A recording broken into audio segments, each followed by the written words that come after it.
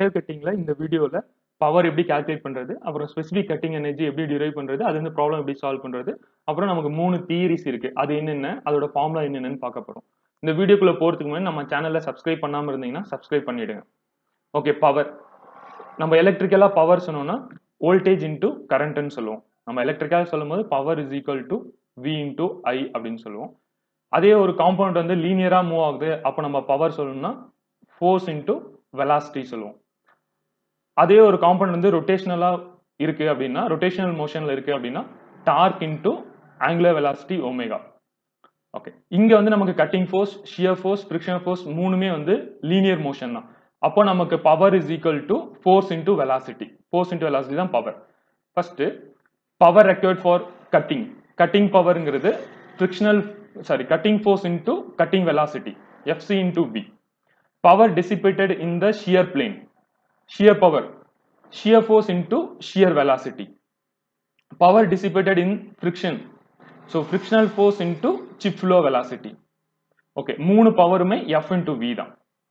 Okay அடுத்து percentage of power loss due to friction கேட்டாங்க அப்படின்னா மேலே வந்து இந்த frictional force into chip flow velocity F F into VC divided by cutting power into cutting velocity இது பர்சன்டேஜாக மாற்றுறதுக்காக இன்டூ ஹண்ட்ரட் இது percentage of power loss due to friction next specific cutting energy specific cutting energy அப்படின்னா amount of power required per unit volume of material removal ஒரு unit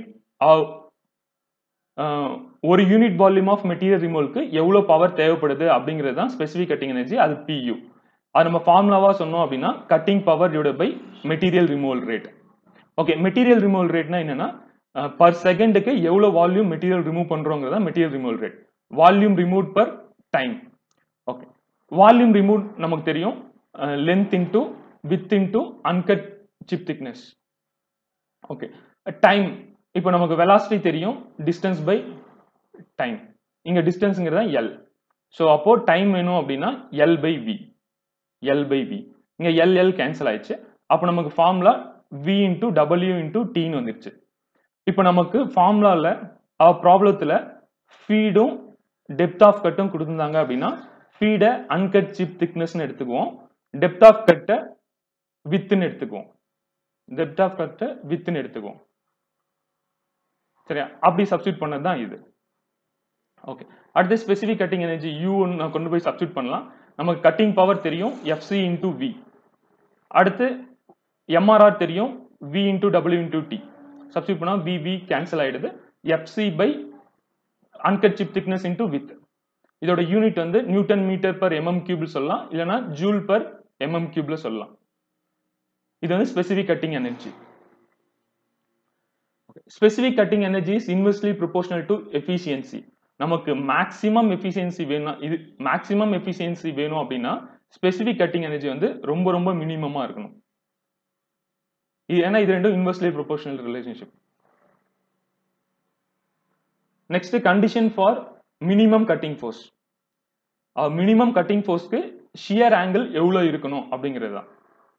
இதுக்கு நம்ம என்ன பண்ணணும்னா கட்டிங் பவர் ஈக்குவேஷனை டிஃப்ரென்ஷியேட் பண்ணணும் வித் ரெஸ்பெக்ட் டு பை அதை equal to zero போட்டோம் அப்படின்னா நமக்கு அந்த ஈக்குவேஷன் கிடைச்சிரும். அந்த பை கிடைச்சிரும். ஓகே இப்போ கட்டிங் பவர் கட்டிங் பவர்ங்கிறது எஃப்சி இன்டு வி ஓகே இந்த FC in terms of FS வந்து நம்ம பார்ட் ஃபோர் பி வீடியோவில் இருக்கும். அதுக்கப்புறம் பார்ட் சிக்ஸ்ல FS in terms of tau இருக்கும். அந்த ரெண்டையும் சப்ஸ்டியூட் பண்ணா நமக்கு ஃபைனலா எஃப்சி இது கிடைக்கும். அடுத்து இந்த எஃப்சியை கொண்டு போய் இங்க சப்ஸ்டியூட் பண்ணிட்டு இதை பையை பொறுத்து டிஃபரன்ஷியேட் பண்ணி ஈக்குவல் டு ஜீரோ போட்டோம் அப்படின்னா நமக்கு இது கிடைக்கும். Two phi plus beta minus alpha equal to ninety இதில் நம்ம பை கால்குலேட் பண்ணோம் அப்படின்னா அந்த பை தான் மினிமம் கட்டிங் ஃபோர்ஸ்க்கு உண்டான ஷியர் ஆங்கிள் பை சரி இந்த பை நம்ம யூஸ் பண்ணோம் அப்படின்னா கட்டிங் ஃபோர்ஸ் மினிமமா இருக்கும். ஓகே அடுத்து இந்த ஈக்குவேஷன் இருக்குல்ல two phi plus beta minus alpha equal to ninety அதான் மெர்ச்சன் ஈக்குவேஷன் இந்த ஈக்குவேஷன் பேர் மெர்ச்சன் ஈக்குவேஷன் இதுல two phi plus beta minus ஆல்பாங்கிறது merchant constant அதை சிஎம் டினோட் பண்ணுவோம்.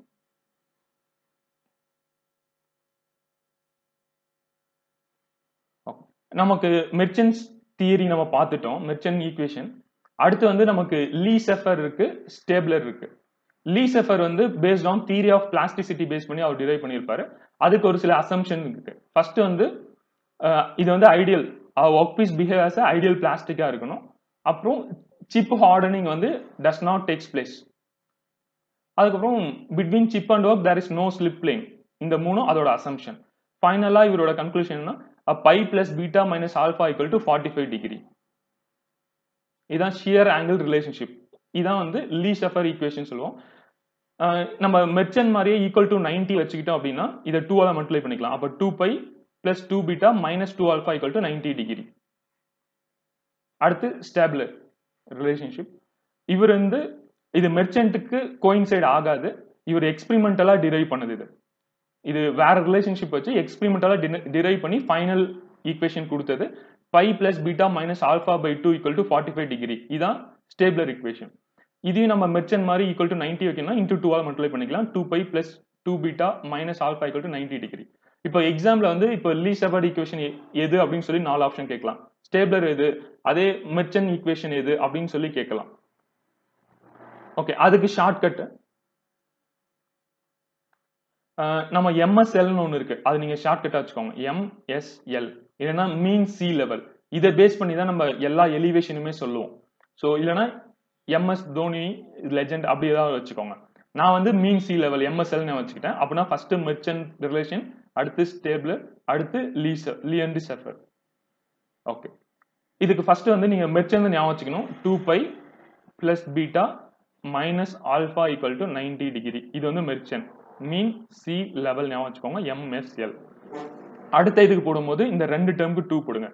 Two phi plus two beta minus alpha equal to ninety degree அடுத்து போடும்போது மூணுக்குமே two போட்டுக்கோங்க. Two phi plus two beta minus two alpha equal to ninety degree சரி இந்த மூணுமே கேட்கலாம். ஓகே இதோட ப்ராப்ளம் வந்து அடுத்த வீடியோவில் பார்க்கலாம். தேங்க்யூ